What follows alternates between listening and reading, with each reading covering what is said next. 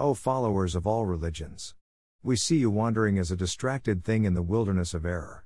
You are the fish of this ocean, wherefore you withhold yourselves from what sustains you?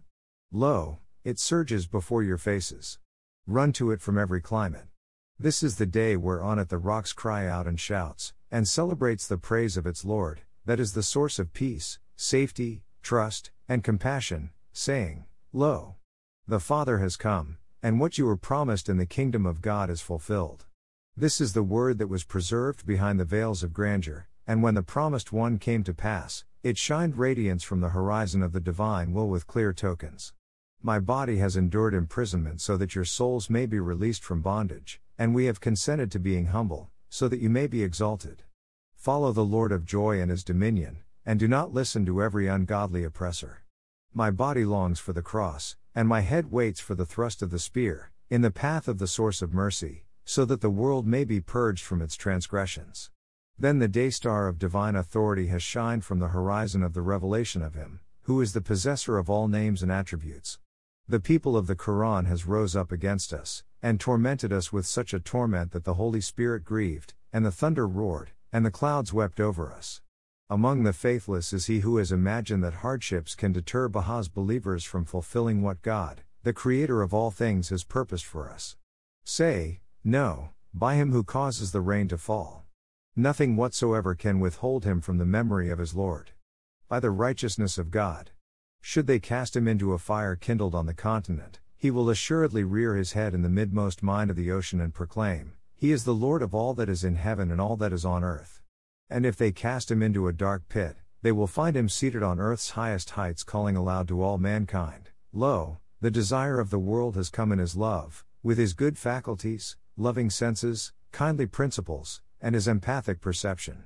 And if he is buried beneath the depths of the earth, his spirit, soaring to the apex of heaven, will roll out the summons You see the coming of the glory, you witness the kingdom of God, that is the conscience, the most gracious, and the source of will. And if they shed his blood, every drop of it will cry out and will invoke God in this name through which the fragrance of his garments has been diffused in all directions. Though threatened by the swords of our enemies, we summon all mankind to God, the designer of earth and heaven, and we offer him such aid as can be prevented by neither the hosts of tyranny, nor the advantage of the people of sinfulness. Say, O people of the earth, scatter the idols of your vain imaginings in the name of your Lord, who is the source of joy and knowledge, and you turn to him in this day that God has made for the King of days. O Supreme Pontiff, who is the Bishop of Rome. Incline your ear to what the designer of decaying bones counsels you, as voiced by him who is his most great name. Sell all the embellished ornaments that you possess, and use it in the path of God, who causes the seekers to return on the day of the Lord, and the day of the return of God for the ones that are the closest to God. Abandon your kingdom to the kings, and emerge from your habitation with your face set towards the kingdom of God, and detach yourselves from the world, and speak the praises of your Lord between earth and heaven. Then he who is the possessor of names, has ordered you on the part of your Lord, who is the source of humble goodness, and the source of knowledge. You encourage the kings and say, Deal equitably with men. Beware unless you transgress the boundaries that are fixed in the book of God. This indeed becomes you. Be careful, unless you accumulate to yourself the things of the world and the riches of there. Leave them to the ones that desire them, and hold on to what has been encouraged on you by him who is the Lord of creation. Should anyone offer you all the treasures of the earth, refuse to even glance at them. Be as your Lord has been. Then the tongue of revelation has spoken what God has made the ornament of the book of creation.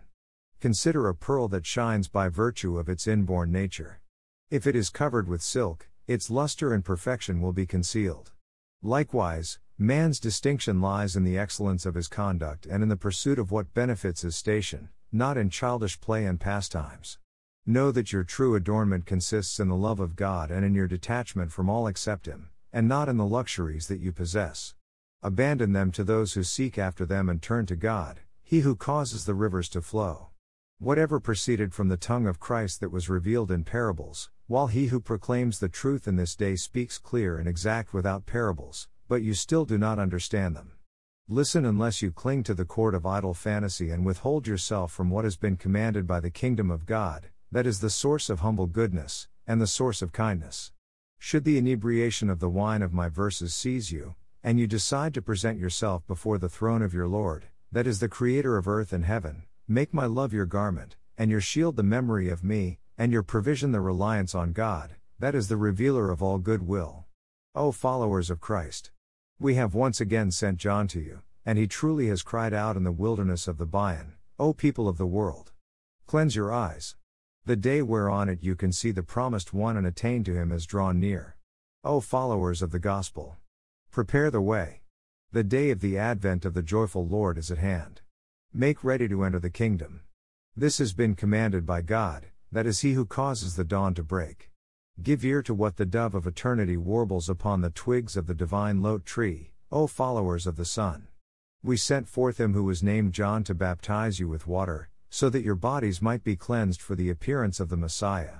He, in turn, purified you with the fire of love and the water of the Holy Spirit in anticipation of these days whereon at the source of mercy has purposed to cleanse you with the water of life at the hands of his loving providence. This is that matchless one foretold by Isaiah, and the Comforter concerning whom the Holy Spirit had covenanted with you. Open your eyes, O congregation of bishops, so that you may see your Lord seated upon the throne of compassion and joy. Say, O people of all faiths, Walk not in the ways of them that followed the Pharisees and then veiled themselves from the Spirit of God. They truly have strayed and are in error. The ancient perfection has come in his most great name, and he wishes to admit all mankind into his most holy kingdom. The pure in mind see the kingdom of God before their face. Make this your most important goal, and follow not the infidel and the ungodly. Should your eye be opposed to the kingdom of God, pluck it out. This has been decreed by the pen of the Ancient of Days, as ordered by him who is the Lord of the entire creation. He truly has come again so that you might be redeemed, O people of the earth. Will you kill him who desires to grant you eternal life? Fear disobeying God, O you who are endued with insight. O people! Listen to what has been revealed by your Lord, the source of all joy, and turn your faces to God, the Lord of this world and of the world to come. Then does he who is the dawning place of the day star of divine inspiration command you as ordered by the designer of all mankind. We truly have created you for the light, and desire not to abandon you to the fire. Come forth, O people, from darkness by the grace of this sun that has shined above the horizon of divine providence, and turn to there with sanctified minds and assured souls, with seeing eyes and beaming faces. Then you counsel them with the supreme commander from the scene of his empathic glory, so that by perchance his summons may draw you near to the kingdom of his names. Blessed is the one who has remained faithful to the covenant of God, and woe happens to him who has broken it and distrusted in him, who is the knower of secrets. Say, This is the day of rewards. Hurry yourselves so that I may make you monarchs in the realms of my kingdom. If you follow me, you will see what you are promised, and I will make you my companions in the dominion of my love and the intimates of my empathy, in the heaven of my good will forevermore. If you rebel against me, I will in my mercy endure it patiently, so that happily you may awaken and rise up from the couch of thoughtlessness. So my mercy has encompassed you. You fear displeasing God and follow not in the ways of those who have turned away from his face, though they invoke his name in the daytime and in the night. Truly, the day of ingathering has come, and all things have been separated from each other.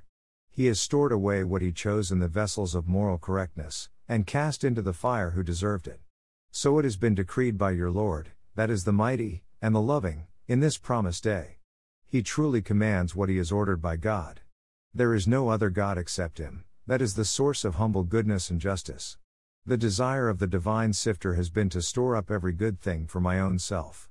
Nothing has he spoken except to acquaint you with my perception and to guide you to the path of him whose mention has adorned all the sacred books. Say, O congregation of Christians.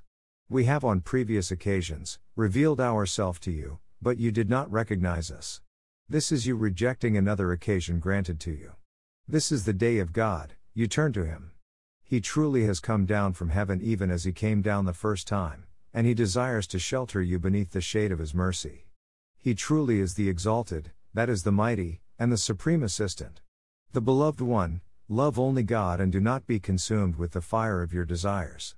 Were you to be shut out as by a veil from him, this would be for no other reason than your own waywardness and ignorance. You make mention of me, but know me not.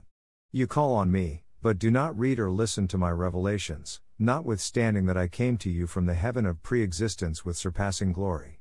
Rip the veils apart in my name and through the power of my goodness, so that you may discover a path to your Lord. The King of Joy proclaims from the tabernacle, the higher perception, of love and kindness call, saying, O people of the gospel. They who were not in the kingdom have now entered it, while we see you in this day habitually lingering at the gate. Rip the veils apart by humbling yourself to your Lord, that is the source of humble goodness, and the source of kindness, and then enter in my name into my kingdom. Then you direct he who desires for you everlasting life. He truly is potent over all things. Blessed are those who have recognized the loving light and run to it.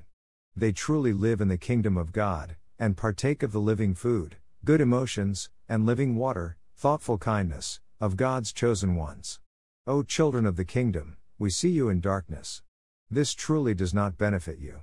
Are you in the face of the light, fearful because of your deeds? Direct yourselves towards Him.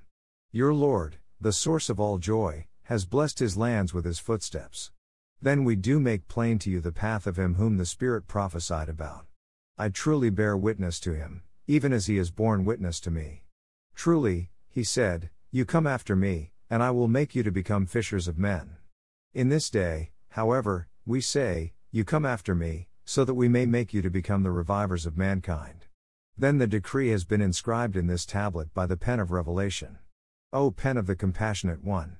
Arouse yourself in memory of other kings in this blessed and luminous book, so that by perchance they may rise from the couch of thoughtlessness and give ear to what the nightingale sings upon the branches of the divine lote tree, and run to God in this joyful and kind revelation.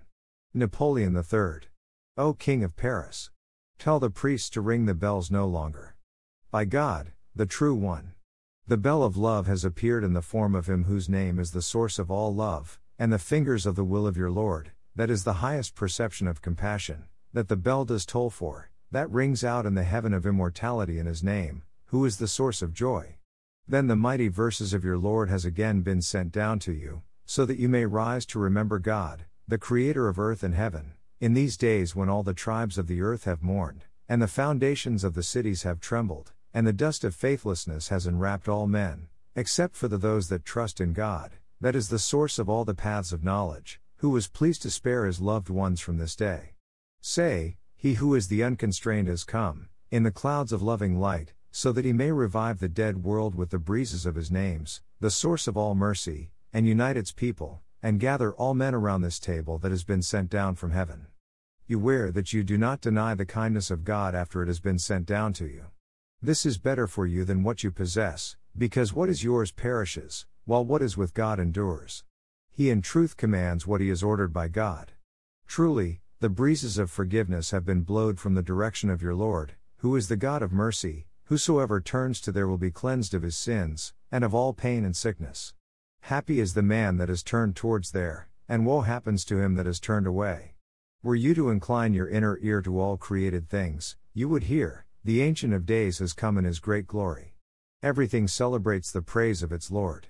Some have known God and remember him, others remember him, but you do not know him at all. So we have set down our decree in a clear tablet. Give ear, O King, to the voice that calls from the fire that burns in this green tree, on this Sinai that has been raised above the hallowed and snow white spot, beyond the everlasting city. Truly, there is no other God but me, the ever forgiving, and the most merciful. We in truth have sent him, whom we aided with the Holy Spirit, so that he may announce to you this love that has shone forth from the horizon of the will of your Lord, that is the source of joy and compassion, and whose signs have been revealed in the West. Set your faces towards him on this day that God has exalted above all other days, and whereon at the source of mercy has shed the splendor of his radiant joy on all who are in heaven and all who are on earth. You arise to serve God and help his perception. He truly will assist you with the hosts of the seen and unseen, and will set you king over all whereon it the sun rises. Your Lord, in truth, is the source of humble good desire.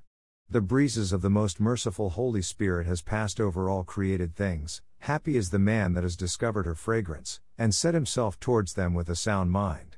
Attire your temple with the ornament of my name, and your tongue with the memory of me, and your mind with love for me, who is the source of humble goodness, and compassion. We have desired for you nothing except what is better for you than what you now possess and all the treasures of the earth. Your Lord truly is the source of all knowledge and the mind of all. Arise in my name, among my assistants, and say, O you people of the earth. Turn yourselves towards him who has turned towards you. He truly is the face of God among you, and his testimony and his guide for you. He has come to you with signs that no one can produce. The voice of the burning bush is raised in the midmost mind of the world, and the Holy Spirit calls aloud among the nations Lo, the desired one has come with seen dominion. O King! The stars of the heaven of knowledge has fell, for those who seek to establish the truth of my perception through the things that they possess, and who talks of God, in my name. But you do not, when I came to them in my glory, they turned away. They indeed, are of the fallen ones. This is truly what the Spirit of God has announced, when He came with truth to you, He with whom the Jewish doctors disputed, until at last they perpetrated what has made the Holy Spirit grieve, and caused the tears of them to fall that have nearest access to God and to His flow. Consider how a Pharisee, who had worshipped God for seventy years, yet rejected the Son when He appeared, but that one who had committed adultery gained admittance into the kingdom of God. Then the pen does admonish you as ordered by the eternal King, so that you may be informed of what came to pass before time, and is being dealt with in this day among them that truly believe. Say, O congregation of monks, do not seclude yourselves in your churches and masses. You come out of them by my will, and then busy yourselves with what will profit you and others. He commands you, who is the Lord of the day of judgment. Seclude yourselves in the stronghold of my love. This truly is the seclusion that benefits you, if you could only know it. He that secludes himself in his house is indeed as one dead. It benefits a man to show all people what will benefit mankind. He that brings forth no fruit is fit for the fire. Then you admonish your Lord, he truly is the mighty, and the generous. You enter into wedlock, so that after you another may arise in your place to worship God. We truly have seen you dealing in lustfulness, and not in what is constructive to faithfulness. You have clung to the promptings of your own nature, and turned your backs on the statutes and commandments of God? You fear disobeying God, and do not be of the foolish. If not for man, who on my earth would remember me, and how could my attributes and my names ever be revealed? Meditate on this and do not be of them that have shut themselves out as by a veil from him, because you is of those that are fast asleep. He that does not marry the Holy Spirit cannot find no place to live, nor where to lay his head by reason of what the hands of the treacherous have constructed. His holiness does not consist in the things that you have believed in or imagined, but instead in the things that belong to us. Ask us so that you may be made aware of his station that has been exalted above the vain imaginings of all the people of the earth. Blessed are they that understand. O King! We heard the words that you spoke in answer to the Tsar of Russia, concerning the decision made regarding the war. Your Lord truly knows and is informed of all. You did say, I laid asleep upon my couch when the cry of the oppressed, who were drowned in the Black Sea, woke me. This is what we heard you say, and truly your Lord is witness to what I say. We testify that what awakened you was not their cry, but the promptings of your own passions, because we tested you and found you selfishly desiring it to happen. Comprehend the meaning of my words, and you be of the discerning kind. It is not our wish to address your words of condemnation, but out of regard for the dignity that we conferred upon you in this mortal life. We truly have chosen courtesy and have made it the true mark of those that are near to God. Courtesy is in truth the garment that fits all men, whether young or old. It is well with him that adorns his temple with it, and woe to him who is deprived of this great reward. If you had been sincere in your words, you would not have turned your back on the book of God, when it was sent to you by him who is the source of humble goodness, and the source of all ways. We have proved to you through it, and found you other than what you have professed. Arise, and make amends for what escaped you. Before long, the world and all that you possess will perish, and the kingdom will remain God's, who is your Lord and the Lord of your fathers of old. It does not benefit you to conduct your affairs according to the dictates of your desires. Fear the size of this wronged one, and shield him from the challenges of this type of unjust acts. For what you have done, your kingdom will be thrown into confusion, and your empire will pass from your hands, as a punishment for what you have constructed. Then you will know how much you have plainly erred. Commotions will seize all the people in that land, unless you arise to help this cause, and follow him who is the Spirit of God in this, that is the straight path. Your fame and joy has made you proud? By my life. It will not endure, no, it will soon pass away, unless you hold fast by this firm cord that leads to God. We see humiliation running after you, while you are part of those who are fast asleep. It benefits you when you listen to his voice calling from the seat of joy and to cast away all that you possess, and cry out, Here I am humbled before you, O Lord of all that is in heaven and all that is on earth. O King! We were in Iraq, when the hour of separating arrived. At the command of the King of Islam, we set our steps in his direction, and upon our arrival, what happened to us at the hands of the hostile people, that the books of the world can never adequately recount. Thereupon the inmates of paradise and they that live within the retreats of holiness grieved, but you do not know the amount of people that are wrapped in a thick veil. Say, do you complain at him who has come to you bearing the clear evidence of God and his proofs, that is the testimony of God and his signs? These things are not from himself, no, rather they proceed from the one who has been raised up, and sent forth from God through the good power of truth, that has made him to be a lamp to all mankind. More grievous became our predicament from day to day, no, from hour to hour, until they took us forth from our prison and made us, with glaring immoral incorrectness, enter the most great prison. And if anyone asked them, For what crime were they imprisoned? They would answer and say, They truly wanted to supersede the faith with a new religion. If what is ancient is what you prefer, where have you discarded what has been set down in the Torah and the Evangel? Clear it up, O men. By my life. There is no place for you to run to in this day. If this is my crime, then Muhammad, the apostle of God, committed it before me, and before him, was he who also had the Spirit of God, and him that you do know of from earlier, that was he who conversed with God.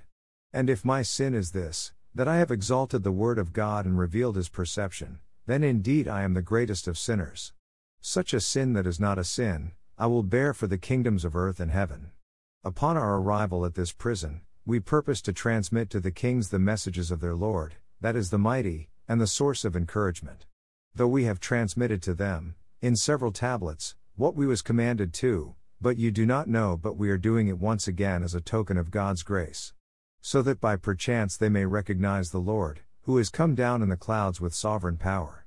As my tribulations were multiplied, so did my love for God and for his perception that increased, in such a way that all that happened to me from those possessed by selfishness that was powerless to deter me from my purpose, and if they should hide me away in the depths of the earth, you do not know it, but they would find me riding high on the clouds, and calling out to God, the Lord of good intelligence. I have offered myself up in the way of God, and I long for the tribulations in the path of my love for Him, and for the sake of His good will. To this He bears witness to and of the woes that now afflict me, the like of which no other man has ever suffered. Every single hair of my head calls out what the burning bush spoke of on Mount Sinai, and each vein of my body is invoked with what God has said. Oh, if only you could have been separated in your path, so that the world's empathic perception be revived, and all its people be united. Then it has been decreed by Him who is the source of all knowledge and reason. You know of a truth, that your subjects are God's trust among you. Therefore, you watch over them as you watch over your own selves. Beware, so that you do not allow wolves to become the shepherds of the fold, or pride and conceit to deter you from turning to the poor and the desolate. Were you to drink the mystic wine of everlasting life from the chalice of the words of your Lord, that is the source of mercy, you would be enabled to forsake all that you possess and to proclaim my name before all mankind. Then you cleanse your soul with the waters of detachment. Truly, this is the memory that has shone forth above the horizon of creation, that will purge your soul from the impurities of the world. Abandon your palaces to the people of the graves, and your empire to whosoever desires it, and then turn to the kingdom of God. This truly is what God has chosen for you, if you were of them that turn to him, you would know it. Those that have failed to turn their faces to the countenance of God, in this revelation are indeed deprived of life. They move as ordered by their own selfish desires, and are in truth counted among the dead. Should you desire to bear the weight of your dominion, bear it then to aid the perception of your Lord. Joyful is this station that whosoever attains to there has attained to all good that proceeds from him who is the source of all the paths of knowledge. You rise in my name, above the horizon of self denial, and then set your face towards the kingdom, and at the command of your Lord, the Lord of strength and of might. Through the power of my goodness stand before the inhabitants of the world and say, O people! The day has come, and the fragrances of God has been blowed over the whole world of creation. Yet, they that have turned away from his face are the helpless victims of their corrupt inclinations. and they are indeed of them that have gone astray. Adorn the body of your kingdom with the garments of my name, and then rise to teach my perception. This is better for you than all that you possess. Thereby this God will exalt your name among all of the kings. Potent is he over all things. You walk among men in the name of God, and by the good power of his love, so that you may show his signs amid the people of the earth.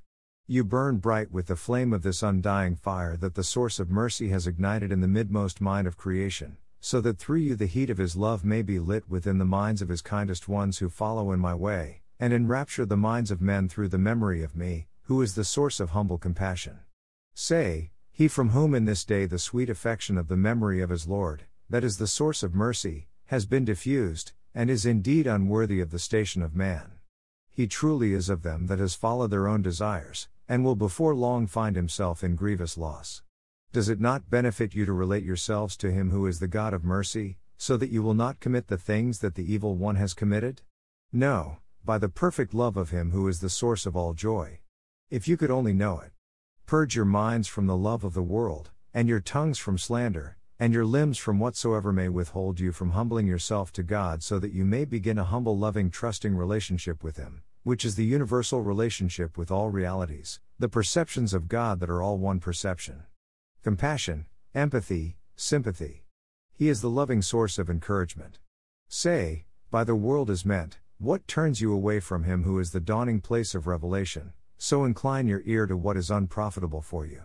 Truly, the thing that deters you from God in this day, is worldliness in its essence. Give it up, and approach the most loving vision, of this shining and splendid seat.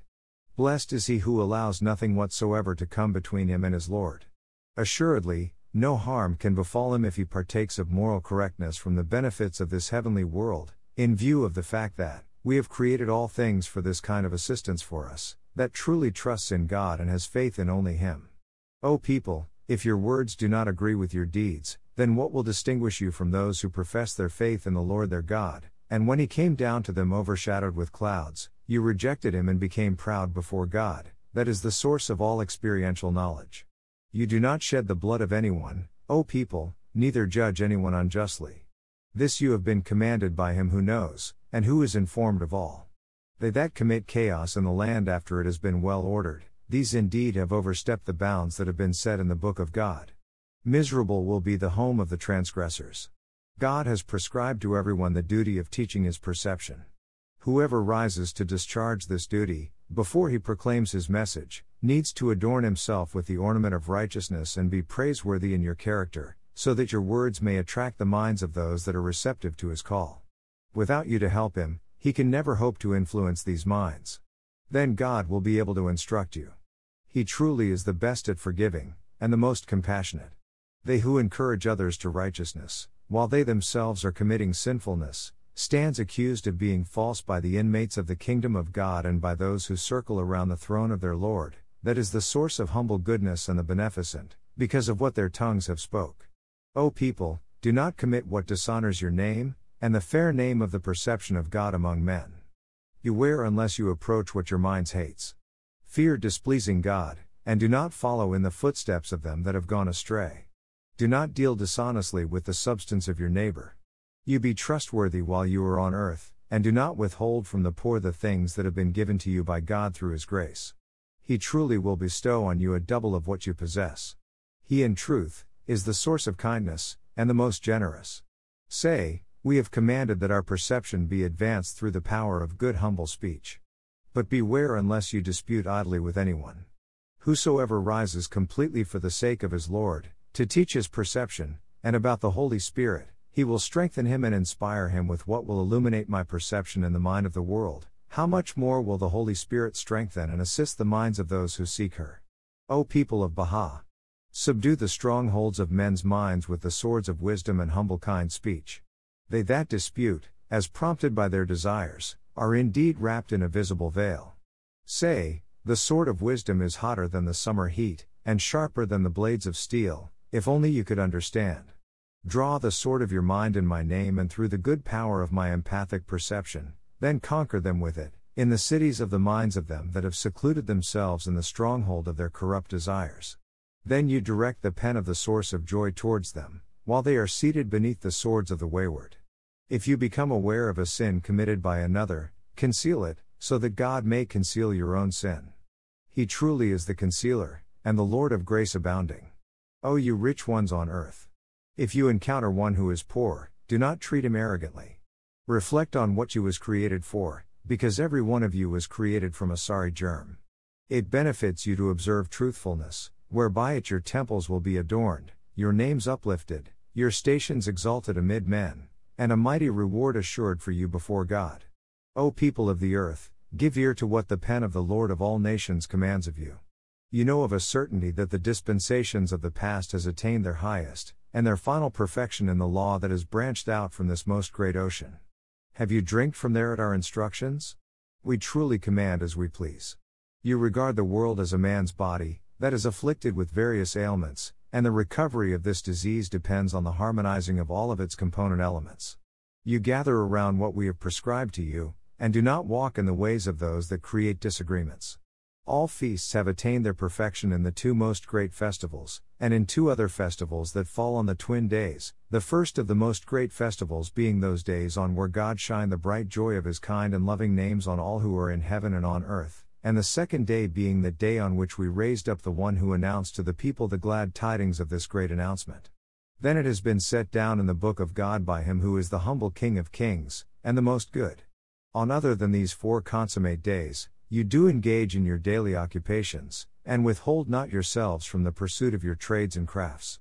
Then the command has been issued and the law gone forth from him who is your Lord, that is the source of all the paths of knowledge. Say, O congregation of priests and monks, you eat of what God has made lawful to you and do not refuse meat. God has as a token of his grace granted to you, and you have permission to partake of it, except during a brief period of fasting. He truly is the mighty, and the beneficent. Forsake all that you possess and hold fast to what God has purposed. This is what profits you, if you are of them that can comprehend. We have commanded a fast of 19 days in the most temperate of the seasons, and have in this splendid and luminous dispensation relieved you from more than this. We have set forth and made clear to you what you are ordered to observe, so that you may follow the commandments of God and be united in what the source of humble goodness, and the source of all ways, has appointed to you.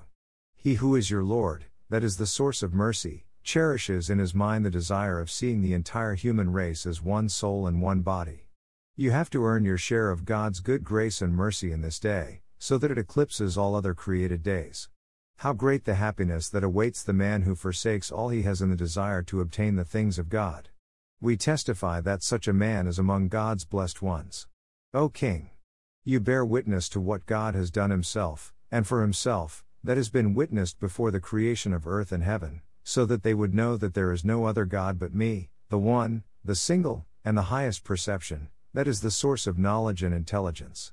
Rise with the utmost steadfastness in the perception of your Lord, who is the source of joy, that you have been instructed in, that is in this wondrous tablet, and see that we truly have desired nothing for you except what is better for you than all that is on earth, and to this testifies all created things and beyond them, that is in this clear book. Meditate on the world and the state of its people, and on him for whose sake the world was called into being, that has been imprisoned in the most desolate of cities, by reason of what the hands of the wayward has constructed. From the horizon of his prison city he summoned mankind to the perfection of God, who is the exalted and the great. You are exalted above the treasures that you possess, because you know they will perish. You rejoice in that you have a large span of earth, when in the whole world, in the estimation of the people of Baha, is worth as much as the black in the eye of a dead ant. Abandon it to those that have set their affections on it, and you turn to him who is the desire of the world. Where have they all gone, the proud in their palaces? You look into their tombs, so that you may profit by this example, in view of the fact that we have made it a lesson to everyone with spiritual insight. Were the breezes of revelation to seize you, you would run from the world, and turn to the kingdom of God, and would give away all that you possess, so that you may draw near to this loving vision. We see the general population of mankind worshipping names and exposing themselves, as you do witness, to dear perils in the hope of perpetuating their own names, while every perceiving soul testifies that after death, one's name will avail him nothing except that it bears a relationship to God, that is the source of humble goodness, and the source of encouragement. Then their vain imaginings have taken hold of them in return for what their hands have constructed. Consider the pettiness of men's minds. They seek with utmost exertion what does not profit them, and were you to ask them, Is there any advantage in what you desire? You would find them sorely confused. Were a fair minded soul to be found, he would reply, No, by the Lord of the worlds. This is the condition of the people and of what they possess. Leave them in their foolishness and turn your sight to God. This is in truth what benefits you. Then listen to the counsel of your Lord, and say, Praised are you, O God of all who are in heaven and on earth. Tsar Alexander II. O Tsar of Russia. Incline your ear to the voice of God, that is the King and the Holy Spirit, and you turn to paradise, the spot wherein he lives, who is among the congregation of angels on high, that bears the most excellent titles, and who in the kingdom of creation is called by the name of God, that is the radiant, and the source of all joy. Beware unless your desire deters you from turning towards the face of your Lord, the compassionate, and the most merciful. We truly have heard the thing that you did ask humbly of your Lord, while secretly communicating with him. Wherefore, the breeze of my loving kindness blowed, and the sea of my mercy surged, and we answered you in truth. Your Lord truly is the source of all the paths of knowledge. While I lay chained and shackled in this prison, one of your ministers extended me his aid. Wherefore God has commanded for you a station that the knowledge of no one can comprehend except his knowledge. Beware unless you throw away this loving station. Your Lord truly does what is God wills, and God will confirm this, and with him is the knowledge of all things in a guarded tablet. Beware unless your powerful intellect withholds you from him who is the supreme goodness of God. He truly has come with his kingdom, and all the atoms cry aloud, Lo! The Lord has come in his great love. He who is the Father has come, and the Son in the holy valley cries out, Here I am, here I am, O Lord, my God. While Sinai circles around the house, and the burning bush calls aloud, the source of kindness has come mounted on the clouds of the mind. Blessed is he that draws near to him, and woe happens to them that are far away. You rise among men in the name of this irrefutable perception of God, and then summon the nations to God, that is the good, and the loving. You do not be of them who called on God by one of his names, but when he who is the object of all names appeared, they denied him and turned away from him and in the end, pronounced sentence against him with immoral incorrectness. You consider and call to mind the days whereon it the Spirit of God appeared, and Herod gave judgment against him. However, God aided him with the hosts of the unseen, and protected him with truth, and sent him down to another land, according to his promise. He truly commands what pleases God. Your Lord truly preserves whom he wills, rather he is in the midst of the seas, or in the mouth of the serpent, or beneath the sword of the oppressor. Blessed is the King whom the veils of beauty have not deterred him from turning to the perfection of God and who has forsaken his all in his desire to obtain the things of God. He indeed is counted in the sight of God as the most excellent of men, and is praised by the people of paradise and them that circle morning and evening around the throne on high. Again, I say, listen to my voice that calls from my prison, so that it may acquaint you with the things that has caused my perfection, at the hands of them that are the peaceful safety of my perception and so that you may perceive how great my patience has been, notwithstanding my kindness, and how immense my tolerance, and notwithstanding my good will. By my life. Could you only know the things sent down by my pen, and discover the treasures of my perception, and the pearls of my ideas that are hid in the seas of my names and in the cups of my words, you in your love for my name, and in your longing for my joyful and loving kingdom, you would lay down your life in my path. You know that though my body is beneath the swords of my enemies, and my limbs are plagued with incalculable afflictions, yet you do not know how my spirit is filled with a gladness that all of the pleasures of the earth can never compare to.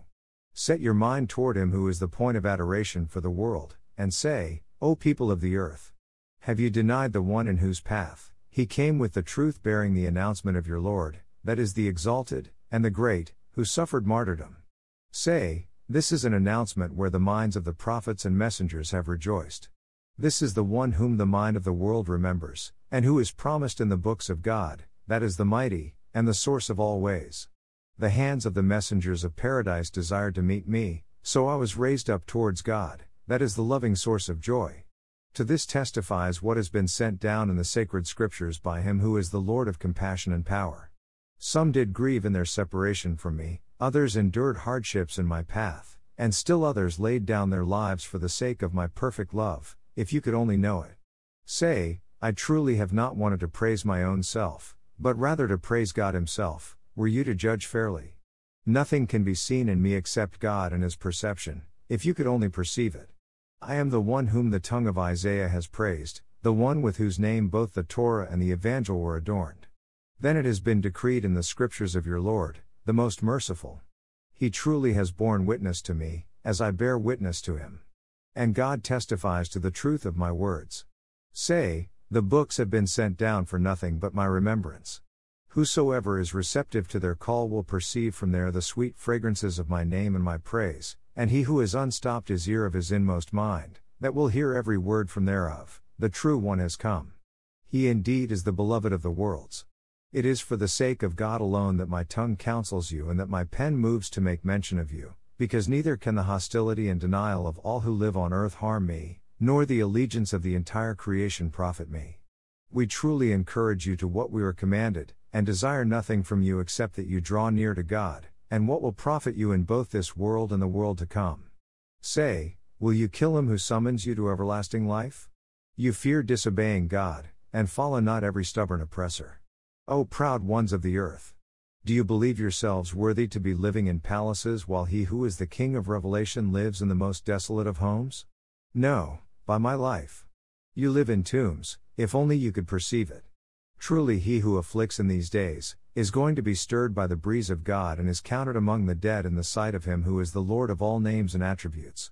Then arise from the tombs of self and desire and turn to the kingdom of God, who is the possessor of the throne on high and of earth below, so that you may see what you were promised before time by your Lord, that is the source of knowledge.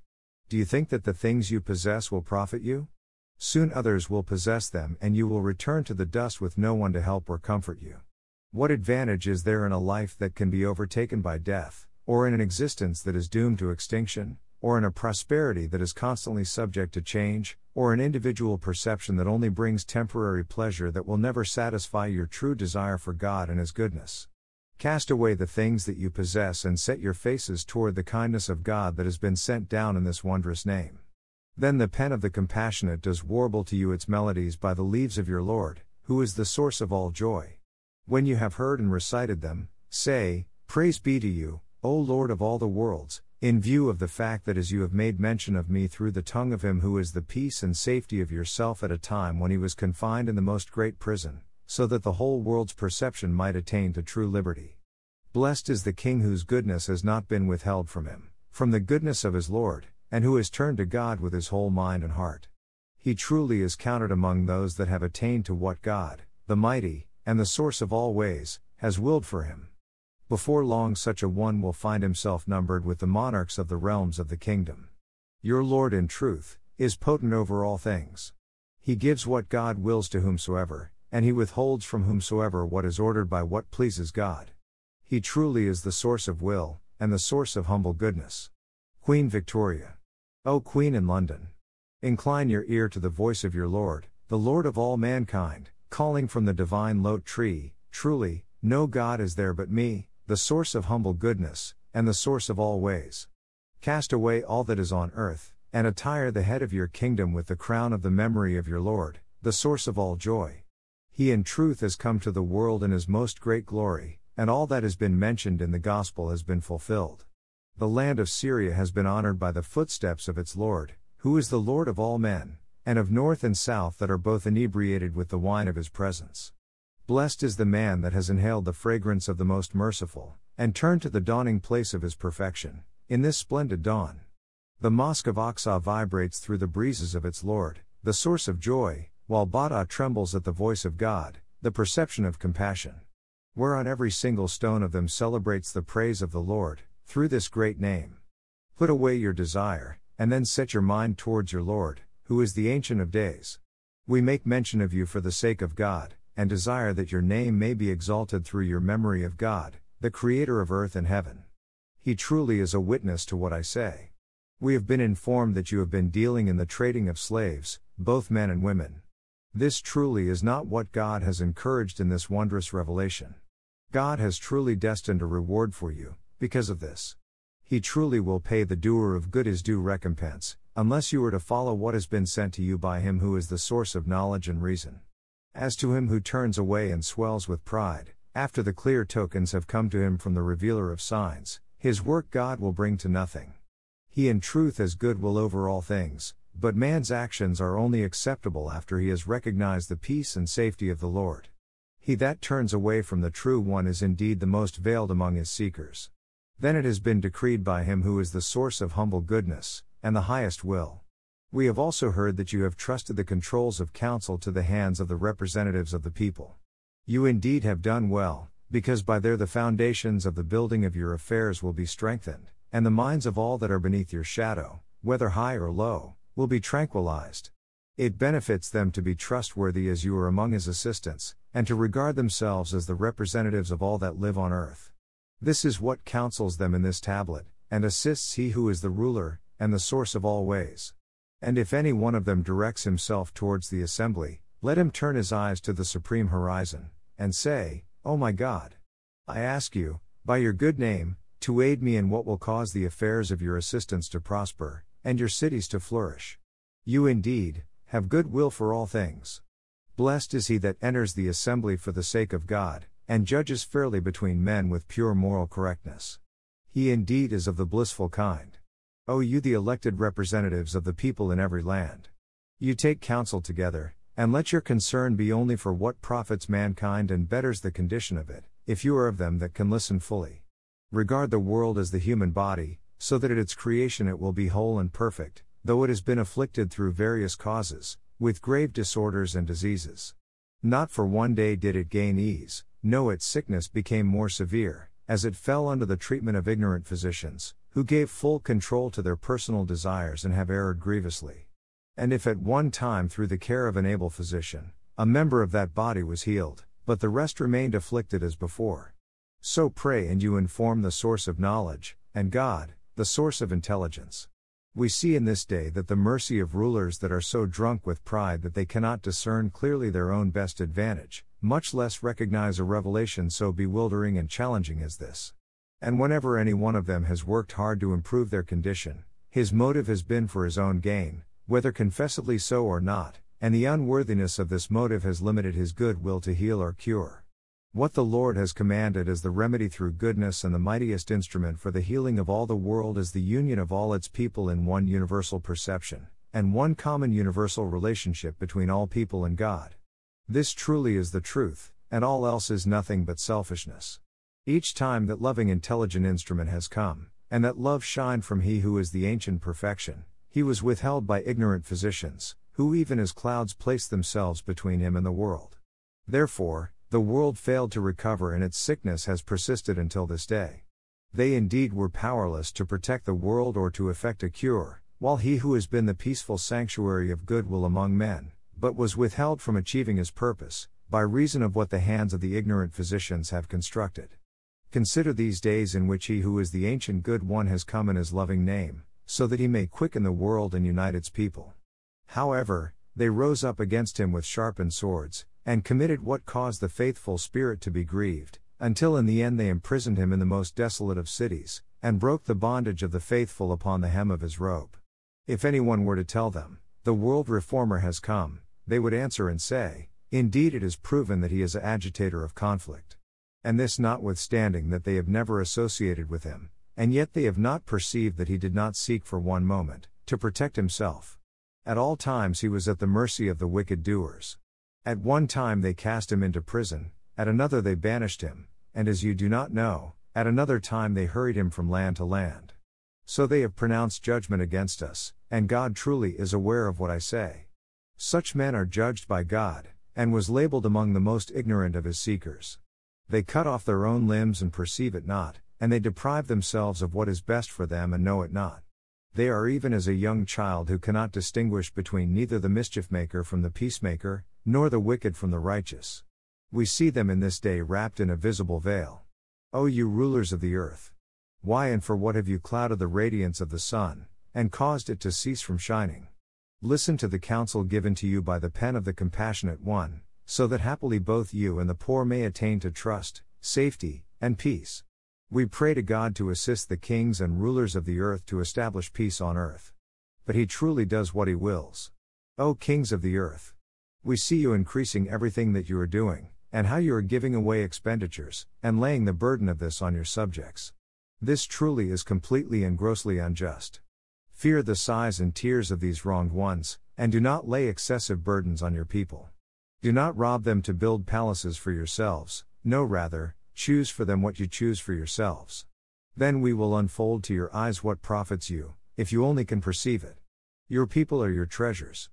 Beware unless your rule violates the commandments of God, and you deliver your districts to the hands of the robber. By them you rule, by their means you survive, and by their aid you conquer. Whatsoever you do, do not look arrogantly at them. How strange, how very strange. Now that you have refused this most great peace, you hold fast to this lesson. If there is less peace in your kingdom, the subjects will feel unsafe, and no one will have peace, and no one will be able to find happiness. But when safety has been returned, then everyone will feel safe and happy, and you may in some degree better your own condition and that of your subjects. This is also true within the family. If the parents create a peaceful and safe environment for themselves and their children, there will be peace and happiness within the family, but God has to be the foundation that all of it is built on. O rulers of the earth! Be reconciled among yourselves, so that you may need no more armaments except in a measure to safeguard your territories and dominions. Beware unless you disregard the counsel of the source of knowledge, and the faithful. Be united, O kings of the earth, because by this the temptation of conflict will be stilled among you, and your people will find rest, if you are of them that comprehend. Should any one among you take up arms against another, you all rise up against him, because this is nothing but moral correctness. Then we did encourage you in the tablet that was sent down before time, and we admonished you once again to follow what has been revealed by him who is the source of humble goodness, and the source of all ways. Should anyone seek shelter with you, extend to him your protection and do not betray him. Then the pen of the compassionate does counsel you, as ordered by him who is the source of knowledge and reason. Beware unless you act as the king of Islam did, when we came to him at his command. His ministers pronounced judgment against us with such immoral incorrectness that all creation grieved, and the minds of those who are near to God were consumed. The winds of selfishness and passion moved them as they willed, and we found them all deprived of constancy. They are all indeed of those that have went far astray. Restrain your pen, O pen of the Ancient of Days, and leave them to themselves, because they are immersed in their idle fantasies. You make mention of the Queen, so that she may turn with a pure mind to the scene of empathic glory, so that she may not withhold her eyes from gazing toward her Lord, the Supreme Commander, and so that she may become acquainted with what has been revealed in the books and tablets by the Creator of all mankind, that is He, through whom the sun has been darkened and the moon eclipsed, and through whom the call has been raised between earth and heaven. You turn to God and say, Oh my goodness, Lord! I am only an assistant of yourself, and you are in truth, the King of kings. I have lifted my pleading hands to the heaven of your grace and your bounties. Then send down on me from the clouds of your generosity what will rid me of all except you and draw me near to yourself. I beg you, O my Lord, by your name that you have made the King of names and the peace and safety of yourself to all who are in heaven and on earth, to rip apart the veils that have come between me and my recognition of the dawning place of your signs and the perfection of your revelations.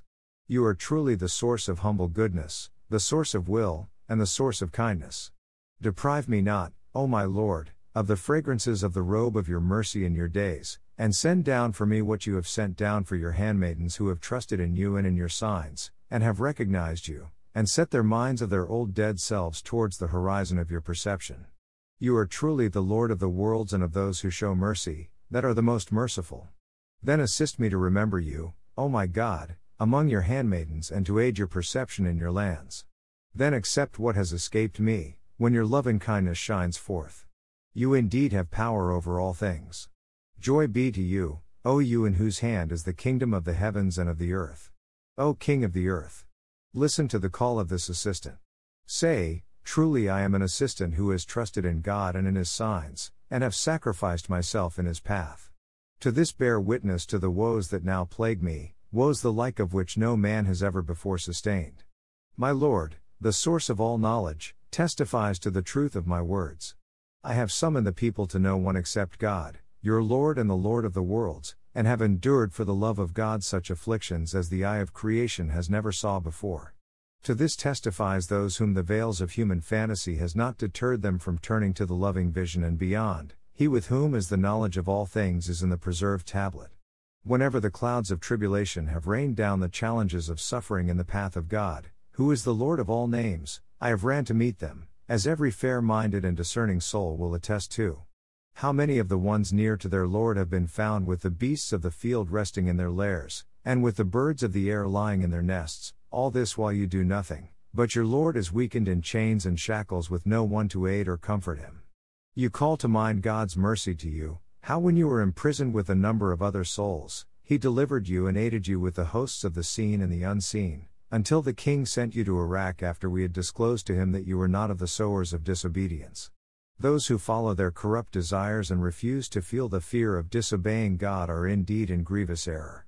They that spread disorder in the land, that shed the blood of men, and wrongfully consume the substance of others, we are truly finished with them. And we beg God not to associate us with them any more, whether in this world or in the world to come, unless they repent to Him and change. He truly is of those who show mercy to the most merciful.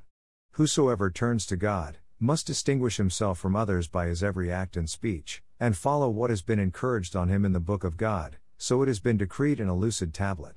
However, those who cast behind their backs the commandments of God, and follow the prompting of their own desires, are truly in grievous error. O King! I plead with you and advise you by your Lord, that is the source of mercy, to look upon your spiritual assistants with the eye of your kindness, and to treat them with moral correctness, so that God may treat you with mercy. Potent is your Lord to do as God wills. The world with all its humiliation and joy will pass away, but the kingdom will remain God's, that is the highest perception, and the source of knowledge. Say, He has kindled the lamp of speech, and feeds it with the oil of wisdom and understanding.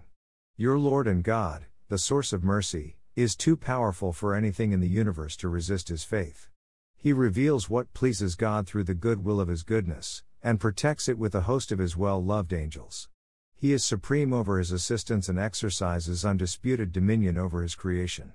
He truly is the source of all the paths of knowledge. O King! I was only a man like others, asleep on my couch, when lo, the breezes of the Holy Spirit, the source of joy, was blowed over me and taught me the knowledge of all that has been. This is not from me, but from the one God, who is the source of humble goodness and knowledge. He urged me to lift up my voice between earth and heaven, and because of what happened to me, that has caused the tears of every man of understanding to flow. The accepted learning among men I did not study, and their schools I did not enter. Ask of the city where I was restrained and where I lived, so that you may be well assured that I am not of them who speak falsely. This is only a leaf that the winds of the will of your Lord, that is the source of humble goodness and the source of encouragement, has stirred. Can he be still when the tempestuous winds are blowing? No, by him who is the Lord of all names and attributes. They move it as they list it. The vanishing is as nothing before him, who is the forever living. His irresistible summons has reached me, and has caused me to speak his praise amid all people. I was indeed as one dead when his instructions was spoke to me. The hand of the will of your Lord, who is the compassionate and the merciful, transformed me. Can anyone speak without divine help of what all men, both high and low, will protest against?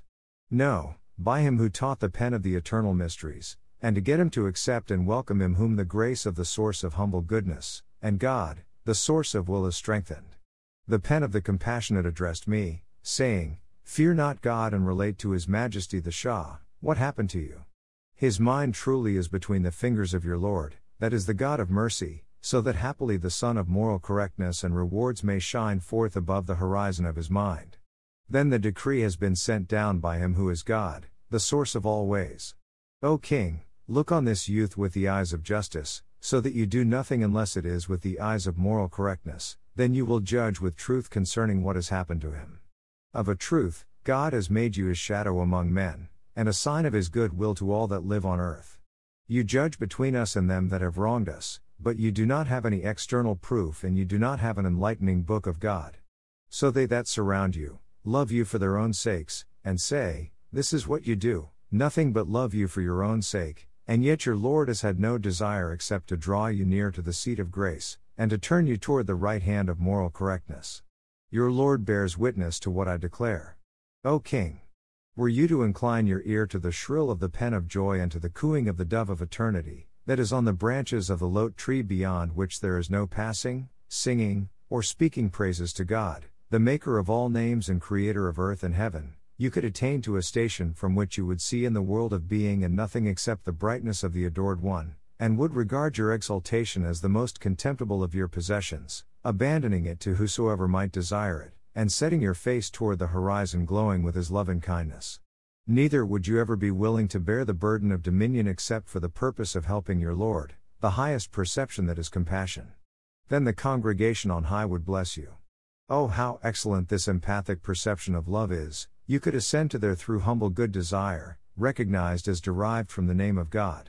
Among the people are those who allege that this youth has done nothing that has had any real purpose except to perpetuate my name, while others claim that I have wanted for myself the vanities of the world, this notwithstanding that never throughout all of my days have I found a place of safety, even to the extent of a single foothold. At all times I have been immersed in an ocean of tribulations, whose full measure no one can comprehend but God. He truly is aware of what I say. How many are the days that my loved ones have been sorely shaken by reason of my afflictions, and how many are the near deaths that I have had during which my family, fearing for my life, has bitterly wept and grieved over me. And this, no one can deny, except them that are deprived of truthfulness. Is it conceivable, that he who expects to lose his life at any moment, should seek after worldly vanities? How very strange the imaginings of those who speak as prompted by their own unpredictable desires, and who wander distracted in the wilderness of selfish passions. Before long they will be called upon to account for their words and actions, and on that day they will find no one to be an assistant or to help them. And among the people are those who claim that I have disbelieved in God. You do know that every member of my body testifies that there is no other God but Him that those whom he has raised up in truth and sent forth with his guidance are the peaceful safety of his loving and kind names, and the revealers of his good attributes, and the repositories of his revelation in the kingdom of creation, and through them the proof of God has been perfected to all else but him. The standard of divine unity has been raised, and the sign of sanctity has been made seen, and through them every soul has found a path to the Lord of the throne on high. We testify that there is no other God but him and that from everlasting he was alone with no one else besides him, and that he will be to everlasting what he has forever been. Too high is the source of mercy for the minds of those who have recognized him, to apprehend his true nature, or for the minds of men to hope to comprehend his essence. He truly is exalted above the understanding of anyone besides himself, and is sanctified beyond the comprehension of all else except God. From all eternity he has been independent of the entire creation. Remember the days in which the sun of Batha shined forth above the horizon of the will of your Lord, the exalted, and the compassionate, and recall how the divines of that age turned away from him, and the learned debated with him, so that happily you may apprehend what in this day remains concealed behind the veils of glory. So grievous became his predicament on every side that he instructed his companions to disperse. Then the decree was sent down from the heaven of divine glory. Furthermore, Remember how when one of these same companions came before the king of Ethiopia and recited to him a surah or verse of the Quran, he declared to his attendants, This truly has been revealed by one God, who is source of all the paths of knowledge. Whosoever acknowledges the truth, and trusts in the teachings of Christ, can in no way deny what has been recited. We truly bear witness to its truth, even as we bear witness to the truth of what we possess of the books of God, who is the help in peril, and the source of life and honesty. I swear by God, O King. Were you to incline your ear to the melodies of that nightingale that warbles in manifold accents upon the mystic branch as ordered by your Lord, the source of mercy, you would cast away your earthly power and set your face towards this scene of empathic joy, that is the station above whose horizon that shines on the book of the downhearted, and you would give away all that you possess in your eagerness to obtain the things of God. Then you would find yourself raised up to the summit of goodness and joy, and elevated to the pinnacle of love and freedom from selfishness, which is death of the humble universal relationship through God. So the decree has been recorded in the Mother Book by the pen of the God, the source of mercy. What benefit is there in the things that are yours today, and that tomorrow others will possess? Choose for yourself what God has chosen for His elect, and God will grant you the ability to perceive and give loving goodness in His kingdom. We beg God to aid your love and to listen to that word whose radiance has enveloped the whole world, to protect you from those that have strayed out far from the court of his presence. Glory be to you, O Lord my God. How many are the heads that were raised up often on spears in your path, and how many are the hearts that was made the target of arrows for the sake of your good will? How many are the minds that have been lacerated for the goodness of your word and the promotion of your perception, and how many are the eyes that we have made sore for the love of you? I implore you, O you, who is the King of kings and the compassion to the downhearted, by your most great name that you have made the dawning place of your thoughtful and loving names and the perfection of your good attributes, to remove the veils that have come in between you and your seekers and has blocked them from turning to the horizon of your revelation. Then, O my God, by your compassionate word, Cause them to turn from the left hand of oblivion and delusion, to the right hand of knowledge of your goodness and trust through you, so that they may know what you have purposed for them through your rewards and grace, and so that they may set their faces towards Him who is your perception of trust and the revealer of your signs. O oh my God! You are the source of kindness, whose grace is infinite. Withhold not your assistance from this most mighty ocean, that you have made the repository of the pearls of your knowledge and your wisdom, and turn them not away from your gate, that you have opened wide before all who are in your heaven and all who are on your earth. O Lord! Leave them not to themselves, because they do not understand and run from what is best for them, that is better than all that you have created on your earth. O my God, cast on them the glances of the eye of your kindness and rewards, and deliver them from their selfishness and passions, so that they may draw near to your most exalted horizon, and taste the sweetness of your remembrance, and delight in the bread that you have sent down from the heaven of your will and the firmament of your grace. From everlasting your rewards have embraced the entire creation, and your mercy has surpassed all things. No God is there but you, the ever forgiving, and the most compassionate. You are the source of joy, O Lord my God. You well know that my mind has melted in your perception, and that my blood boils in my veins with the fire of your love, so that every drop of it proclaims with its inner tongue, I grant that it may be spilled all over the ground for your sake, O my Lord, the compassionate, so that from there it may spring forth what you have purposed in your tablets and have hidden from the eyes of all, except for your assistance that has tasted of the crystal stream of knowledge from the hands of your grace and drink the soft flowing waters of understanding from the cup of your generous gifts.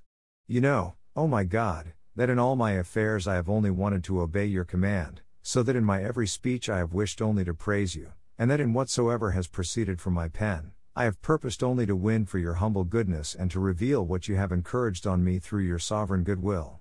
You see me, O my God, as one confused in your land. Whenever I speak of what you have encouraged me to do, your seekers complain at me, but you do not want me to neglect what you have ordered me to observe. If so, I would deserve the scourge of your anger and would be far removed from the meadows of your nearness. No, by your glory. I have set my face towards your goodwill, and I have turned away from the things that your assistants have set their affections on. I have embraced all that is with you, and have forsaken all that earthly might and earthly glory lead me away from the retreats of your nearness and the heights of your joy. I swear by your might. With your love in my mind and heart, nothing can ever alarm me, and in the path of your goodwill, all the world's afflictions can in no way deter me. However, all of this proceeds from your goodwill and your might, and from your rewards and your grace, and is not of my own good will or because I deserve anything. O oh my God, this is an epistle that I have purposed to send to the king for a while. You know that I have wished of him nothing but that he should show good moral correctness to your assistance and extend his kindness to the people of your kingdom. Because I myself have desired only what you desire, and through your comfort I wish for nothing except what you wish for. Perish the soul that seeks from you anything except yourself. I swear by your glory. Your goodwill is my dearest wish, and your purpose is my highest hope. Have mercy, O my God, on this poor creature who has clung to the hem of your riches, and on this pleading soul who calls on you, saying, You are truly the Lord of empathy, intelligence, and joy. You assist, O my God, His Majesty the Shah to keep your statutes amid your assistants and to see your moral correctness among your seekers, so that he may treat this people as he treats others. You are in truth the God of goodwill, of glory, and of wisdom. By the will and permission of the King of the age, this assistant journeyed from the seat of goodness to Iraq, and lived there for twelve years in that land. Throughout the entire course of this period, no account of our condition was submitted to the court of your presence, and no representation was ever made to foreign powers. Placing our whole trust in God, we resided in that land until there came to Iraq a certain official, who upon his arrival undertook to harass this poor company of exiles. Day after day, at the instigation of some of the outwardly learned and of other individuals, He would stir up trouble for these assistants, although they had at no time committed any act detrimental to the state and its people, nor did anything contrary to the rules and customs of the citizens of the realm. Fearing that if the actions of these transgressors should produce some outcome at variance with your world adorning judgment, this assistant dispatched a brief account of the matter to Mirza Saeed Khan at the Foreign Ministry, so that he might submit it to your royal presence and whatever should please you to decree in this respect will be obeyed. A long while elapsed, and no decree was issued. Finally, matters came to such a pass that there loomed the threat of imminent strife and bloodshed. Therefore, of necessity and for the protection of the assistance of God, a few of them appealed to the governor of Iraq. Were you to observe these events with the eye of fairness, it would become clear and evident in the luminous mirror of your mind that what occurred was called for by circumstances, and that no other alternative could be seen. His Majesty himself is witness to that in whatever city a number of this people has lived in, the hostility of certain officials have kindled the flame of conflict and contention. However, this vanishing soul, since his arrival in Iraq, has been dealing with all who engage in disagreement and strife. The witness of this assistant is his very deeds, because all are well aware and will testify that although a greater number of this people resided in Iraq than in any other land, no one overstepped his limits or transgressed against his neighbor. Fixing their gaze on God, and returning their trust in Him, all have now been living in peace for well near 15 years, and in whatever has befallen them, they have shown patience and resigned themselves to God. If the peace of God can be found in a prison, there is no reason that the peace of God cannot be found anywhere in the world, if one desires it enough. After the arrival of this assistant in the city of Adrianople, some of the people of Iraq and elsewhere inquired about the meaning of the term giving assistance to God that has been mentioned in the Holy Scriptures. So eventually answers were sent out in reply, one of which is set forth in these pages, so that it may be clearly demonstrated in the court of your presence, that this assistant has had no end in view but to promote the betterment and well being of the world. And if some of the divine favors, undeserving as I may be, God is pleased to bestow on me is not plain and seen, this much at least will be clear and apparent, that He, in His surpassing mercy and infinite grace, has not deprived my mind of the ornament of reason. The passage that was referred to concerning the meaning of giving assistance to God is as follows He is God, and exalted is His glory. It is clear and evident that the one true God, joyful is his mention, is sanctified above the world and all that is in it. By giving assistance to God, it is not meant that any soul should fight or debate with another. That ascended Lord who does whatsoever God pleases, that has been entrusted with the kingdom of creation, its lands and its seas, yet the Lord has entrusted it all into the hands of the kings, because they are each, according to the level of their individual perceptions, creating the environments of distrust, unrest, and war, or the environments of peace, trust, and safety of His divine goodwill. Should they enter beneath the shadow of the True One, they will be counted of God, and if not, your Lord truly knows and observes all things. God is joyful by His name. And what He has desired for Himself is the minds of His assistants, that is, the treasuries of His love and remembrance, and the repositories of His knowledge and wisdom. It has forever been the wish of the eternal King to cleanse the minds of his assistants from the things of the world and all that pertains to their, so that they may be made your worthy recipients of the radiant splendors of him who is the King of all names and attributes. Where it no stranger must not be allowed in the city of the mind, so that the intelligent assistant may enter his home. By this is meant the brightness of his names and attributes, and not his exalted essence, in view of the fact that as that matchless King has forever been, and will eternally remain sanctified above ascent and descent. Therefore, it follows that giving assistance to God in this day, does not and will never consist in debating or disputing with any soul, no, rather, what is preferable in the sight of God is that the cities of men's minds, that is ruled by the hosts of self and passion, should be subdued by the sword of speech, of wisdom, and of understanding. Then whosoever seeks to assist God must before all else, conquer with the sword of inner meaning and inner explanation in the city of his own mind and guard it from the memory of all except God, and only then can you set out to subdue the cities of the minds of others. This is the true meaning of giving assistance to God. Disobedience has never been pleasing to God, nor was the acts committed in the past by certain foolish ones acceptable in His sight. You know that to be killed in the path of His good will is better for you than to kill any one of God's enemies. The beloved of the Lord must in this day behave in such a way amid His assistance that they may, by their very deeds and actions, guide all men to the paradise of the God, the source of joy. By him who shines above the perfection of sanctity. The assistants of God have not, nor will they ever, set their hopes on the world and its temporary possessions.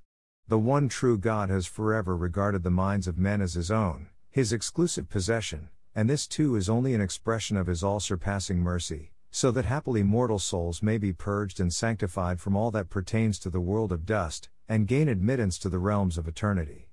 Because otherwise, that ideal King, that is God, is in himself and by himself, sufficient to himself and independent of all things. Neither does the love of his seekers profit him, nor can their hostility harm him. All have issued forth from homes of dust, and to dust they will return, while the one true God alone and single is established on his throne, a throne that is beyond the reaches of time and space, that is sanctified above all speech or expression, or intimation, or description and or definition, and is exalted beyond all thoughts of humiliation and glory. And no one knows this except Him, and those that have the knowledge that is in the book of God. No God is there but Him, that is the source of humble goodness, and the source of kindness. It benefits the kind hearted ones of the goodness to examine all my messages with the eye of moral correctness and mercy, and not to content himself with the groundless claims of certain individuals.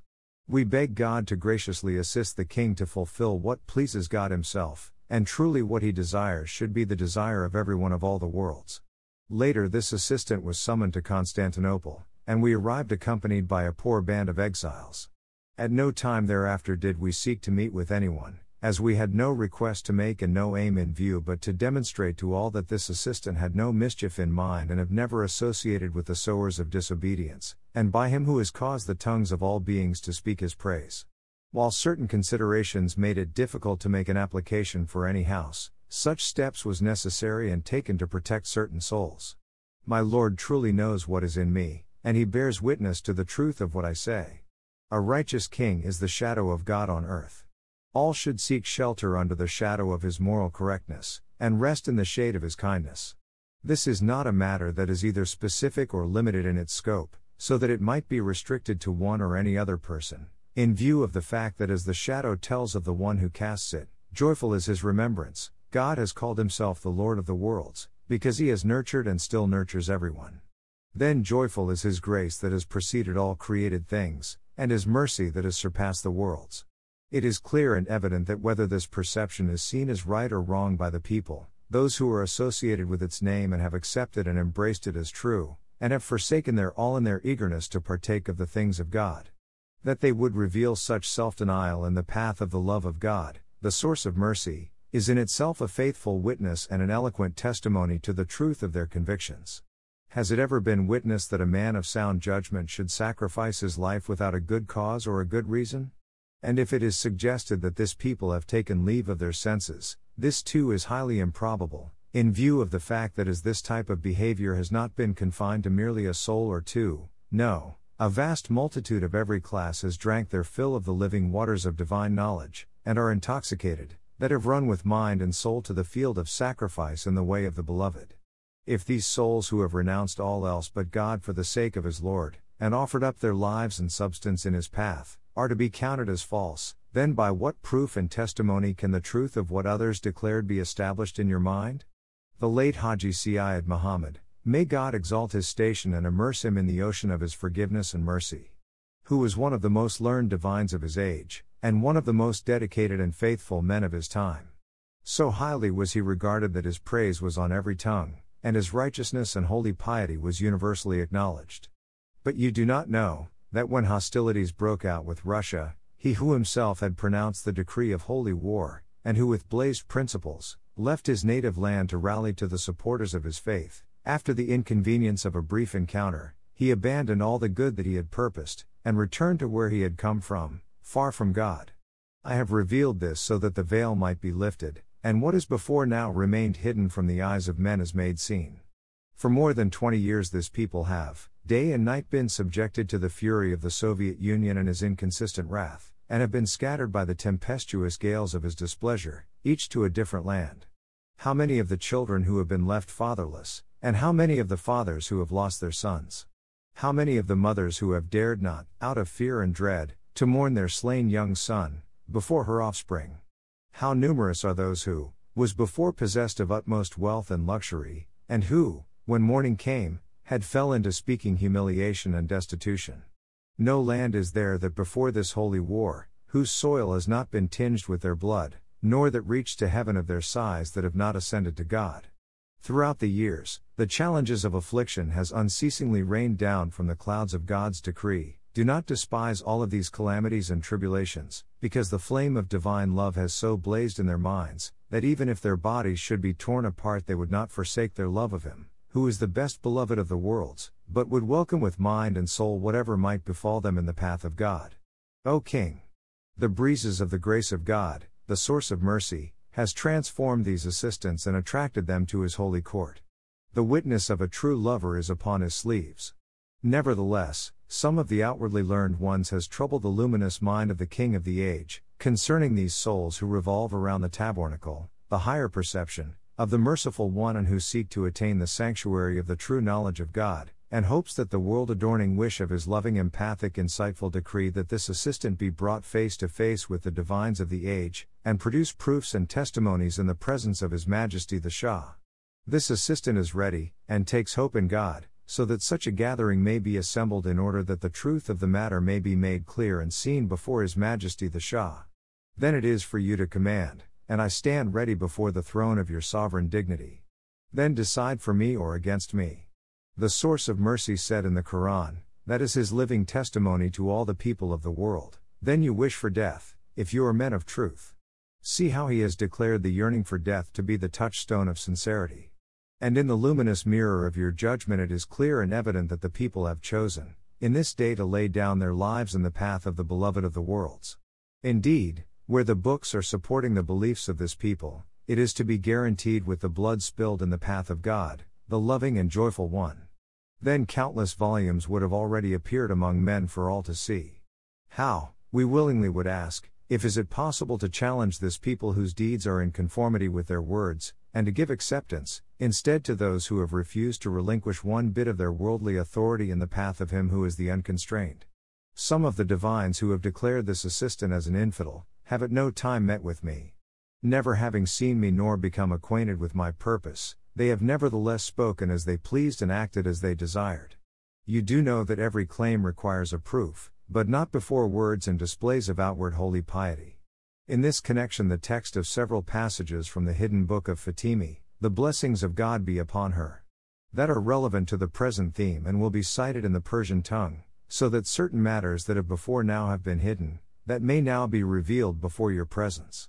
The people addressed in the hidden book of Fatimi, that is today known as the hidden words, that are of those, who though outwardly are known for learning and holy piety, yet are inwardly the slaves of self and passion. He said, O you that are foolish, you do not have a name to be wise. Wherefore you wear the guise of the shepherd, when inwardly you have become wolves, with intent on my flock. You are even as the star that rises before the dawn, and though it seems radiant and luminous, leads the tourists of my city astray into the paths of perdition. Perdition is not being able to have a relationship with God, and without a humble, trusting relationship with God, no one can have a good relationship with each other as it will be as a house built on sand. And likewise he said, O you who seem fair, but you do not know that inwardly you are evil. You are like clear but bitter water, that to the outward people it seems as if you are crystal clear and pure, but when tested by the divine assessor, not a drop is accepted. You are the sunbeam that falls like on the dust and on the mirror, you do not differ, because they are only a reflection, even as does the star and the earth show their reflection. No, immeasurable is the difference. And also he said, O essence of desire. At many a dawns have I turned from the realms of the placeless to your home, and found you on the bed of ease busied with anyone other than myself. Then before, even as the flash of the Spirit, I returned to the realms of celestial glory, and breathed it in through my retreats above to the hosts of holiness. And again he said, O assistant of the world. Many a dawns have the breezes of my loving kindness blowed over you and found you on the bed of thoughtlessness fast asleep. Crying about your predicament, when the Spirit returned to where it came from. Therefore, in the exercise of the royal moral correctness, it is not sufficient to give ear to the pretender alone. God said in the Quran, about the unfailing balance that distinguishes truth from lies, O you who believe. If a wicked man comes to you with news, clear it up at once, unless through ignorance you harm others, and afterward reap in of what you have done. Moreover, the holy traditions contain the warning believe not the false messenger. Certain of the divines, who have never seen us, have misconceived the nature of our perception. However, those who have met us will testify that this assistant has not spoken except in accordance with what God has commanded in the book, and that he has called attention to the following blessed verse Exalted is his word. Do you not deny us only because we believe in God and in what he has sent down to us, and in what he had sent down before time? O King of the age! The eyes of these are turned towards you and they are fixed on the mercy of the most merciful. No doubt is there because whatever these tribulations are will be followed by the outpourings of a supreme mercy, and these dire adversities will be succeeded by an overflowing of prosperity. However, we willingly would hope that His Majesty the Shah will himself examine these matters and bring hope to the minds of the people. What we have submitted to your Majesty is indeed for your highest good. And God truly is a sufficient witness to me. Wonderful are you, O Lord my God. I bear witness that the mind of the King is in truth between the fingers of your mighty good will. O my God, if it is your wish, do you want, in the direction of charity and mercy. You truly are the source of humble goodness, the highest perception, and the most generous. No God is there besides you, the source of joy, and the one whose help is wanted by all. Concerning the prerequisites of the learned, he said, Whosoever among the learned guards, who himself defends his faith, resists his desires, and obeys nothing but his Lord's command, is mandatory upon the majority of the people to pattern themselves after him. Should the King of the age reflect on this speech that has streamed from the tongue of him who is the perfection of the revelation of the God, the source of mercy, he would perceive that those who have been adorned with the attributes listed in this holy tradition are scarcer than the philosopher's stone, wherefore not every man that lays claim to knowledge deserves to be believed. Again, concerning the divines of the latter days, he said, The religious doctors of that age will be the most wicked of the divines beneath the shadow of heaven. Out of them mischief has proceeded and to them it will return. And again he said, When the standard of truth is made seen, the people of both the East and the West will curse it. Should anyone dispute these traditions, this assistant will undertake to establish their validity, since the details of their transmission has been omitted before, for the sake of conciseness. Indeed, those doctors who have drank from the cup of self denial have never interfered with this assistant of God. Then, for example, Sheikh Murtada, may God exalt his station and cause him to rest beneath the canopy of his grace. Has showed kindness during our journey in Iraq, and never spoke of this perception other than as God has given authority. We beg God to graciously assist all to do his will and pleasure. However, now all have lost sight of every other consideration, and are bent on the persecution of this people. Then, if it is inquired of by certain people, who by the grace of their Lord, Rest beneath the shadow of your royal mercy and enjoy countless kindnesses. What services have you rendered before, in return for these royal kindnesses? Have you through wise policies annexed further territories to the realm? Have you applied yourselves to anything that would secure the welfare of the people, or the prosperity of the kingdom, and the lasting joy of the state? They will have no other reply than to designate, justly or falsely, a group of people before your royal presence as Babis, and with which to engage in massacre and pillage. In Tabriz, for instance, and in the Egyptian town of Mansouri, a number of this people were before ransomed and large sums of them were before seized, but you do not know that the account of these matters was forever made in the court of your presence. The reason for all of these things that have come to pass is that their persecutors, finding these unfortunate ones without your protection, do not have any protection, and have gone through more disgraceful matters, and instead occupied themselves with harassing this afflicted people. Numerous confessions and divers creeds have lived peacefully beneath the shadow of your patient and loving will. Let this people also be numbered with them. No, those who serve the King should be energized by such high aims and loving intentions as to continually strive to bring all religions beneath the shelter of his shadow, and to rule over them with perfect moral correctness. To enforce the laws of God is nothing but acquiring a conscience and good qualities, that is the source of universal joy. No, more than that, the divine qualities have always been and will forever remain the perception and way of the preservation of mankind, as witnessed by his exalted words In suffering you will find life, O men of insight. However, it would be undesirable if the moral correctness of your majesty, for the trespass of a single soul, that a whole group of people should be subjected to the scourge of your wrath. The one true God, joyful is his name, has said, None will bear the burden of another. It is clear and evident that in every community there has been, and will forever be, the learned and the ignorant, the wise and the thoughtless, the degenerate and the wholly faithful. That a wise and reflecting soul should commit such a wicked deed is most improbable, in view of the fact that as such a person either seeks after this spiritual world or has forsaken it, if he is of the one that is seeking the spiritual world, he would assuredly have no regard for anything else besides God, and moreover the fear of disobeying God would deter him from unlawful and disgraceful actions and speech, and if he hasn't forsaken the spiritual world, then he would just as assuredly avoid such deeds as would alienate and alarm the people, and act in such a manner as to lose their confidence and trust. It is therefore evident that disgraceful actions have always emerged, and will forever emerge from ignorant and foolish souls.